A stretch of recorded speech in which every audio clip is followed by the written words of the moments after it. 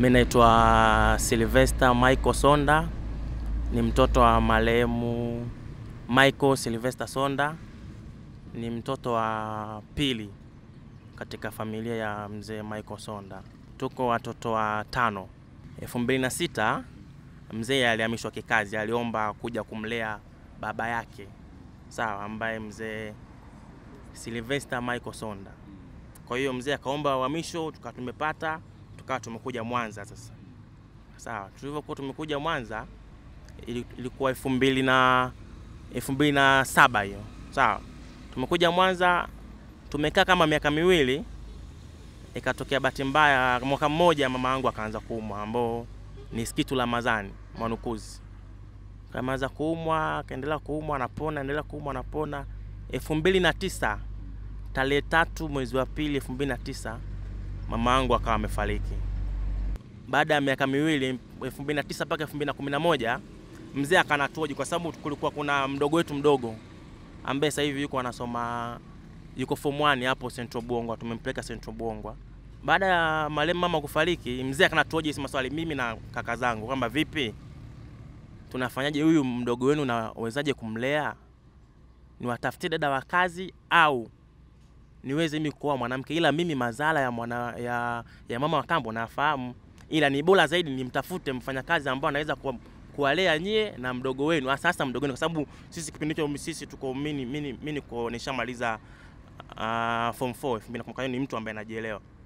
Kwa hiyo tukafanya mpango kweli, mzee akawa ametukutanisha na huyo mama ambaye anaitwa mama, mimi nilikuwa namtambua kama mama Jane. Basi mzee akatuita akatutambulisha kwamba hivi na hivi, huyu ndo mama ambaye ataweza kumlea mdogo wenu. Je, vipi, mnaafiki naye? Ni dada dada wa kazi. Sasa kutokana na mwili, si unajua, ujue dada wa kazi ni yule kisichana kidogodogo, kutokana na mwili unaweza kumwita mama wa kazi ya. Kwa hiyo tuseme dada wa kazi. Basi sisi tukasema sawa, kama anakuja kumlea mdogo wetu sawa, hakuna shida, ambayo hiyo ilikuwa ni elfu mbili na kumi na mbili. Ah, kwa, kwa hivyo mimi siwezi jua kwa sababu pale nyumbani kuwa kuna nyumba mbili sawa. Baada ya mama marehemu mamangu fariki, kuna nyumba mbili, nyumba ambayo alijenga baba na mama sawa, marehemu yangu Sikitu Ramadhani, na kuna nyumba ambayo ilikuwa ambao alijenga marehemu babu yangu ambaye ni baba yake na baba yangu mimi, ambao yeye alikuwa anaishi mule ndani. Sisi watoto tulikuwa naishi kwenye hii nyumba ambayo alijenga mama na baba, ushaelewa? Kwa hiyo ishu ya ndani nilikuwa sifahamu kwamba huwezi jua yule ni mfanyakazi, ila naishi kwenye ile nyumba nyingine. Huwezi jua kwamba ikifika usiku mama anachopoka anaingia kwenye chumba cha mzee, hiyo huwezi jua. Sawa, mimi nilikuwa naona kama ni mfanyakazi na kwa nafanya kazi kama hamna siku hata mzee ambao kwamba ametutambulisha kama huyu ndio mama yenu, hicho hamna. Mzee wangu alikuwa ni Mkatoliki ambaye alibatizwa akapata kipaimara na watoto wake walikuwa, japo yeye alikuwa sio mtu wa kwenda kanisani kwa sababu ya ubizi wa kazi, wakauliza marehemu alikuwa na ndoa? Kamjibu kwamba marehemu sawa, alikuwa na ndoa, ila ndoa ya kiserikali ambayo alikuwa amefunga na marehemu mama yangu Sikitu Ramadhani ambaye alifariki 2000 2009 sawa, tarehe tatu mwezi wa pili 2009, ila kwa sasa alikuwa hana ndoa.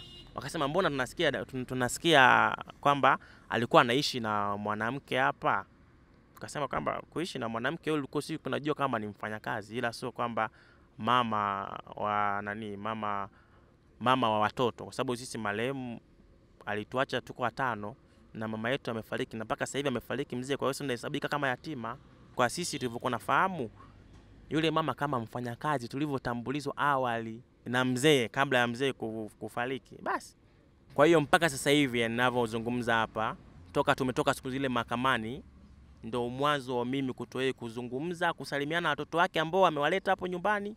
Yaani ishu sisi ishu ambacho ishu ambacho nilichokuwa na- nachokitaka mimi na anti zangu kwamba yule dada arudi kwenye mji wake, sababu alikuja kama mfanyakazi. Yule mtu ambaye alikuwa amemweka pale hayupo, kwa hiyo atuachie mji wetu, kama hiyo nyumba nyingine kubwa tuweze kuipangisha, ili mdogo wangu afanye aweze kusoma huku, nasubiri utaratibu za milasi. Kama mahakama ataleta vithibitisho kama yule ni mke wa ndoa anaweza kupata nani stahiki zake. Mimi niko tayari kupata stahiki zake, ila kama hawezi kutoa vithibitisho vya kuwa yeye alikuwa ni mke wa marehemu, sababu kama mimi nilikuwa namtambua kama mfanyakazi wa nyumbani, Umeona? Kwa hiyo yeye labda hawe ana evidence sawa, kwamba yeye ni mke wa marehemu. Kama anataka stake zake atapata nje ya nani, nje ya nje ya eneo la nyumbani, sababu pale ishu ni kwa da- dada wa marehemu, wanataka awapishe.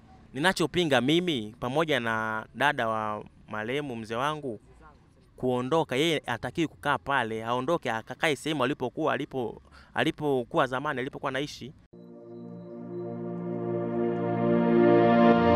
Millard Ayo anayo furaha kukupa taarifa kwamba application mpya ya Millard Ayo imeanza kufanya kazi na kwa sasa inapatikana kwa wenye simu za Android kiurahisi kabisa. Habari zote utazipata kiganjani saa 24, habari za mastaa, siasa, video mpya, lifestyle, michezo na mengine mengi ya dunia. Nenda Google Play, search Millard Ayo kisha bonyeza install.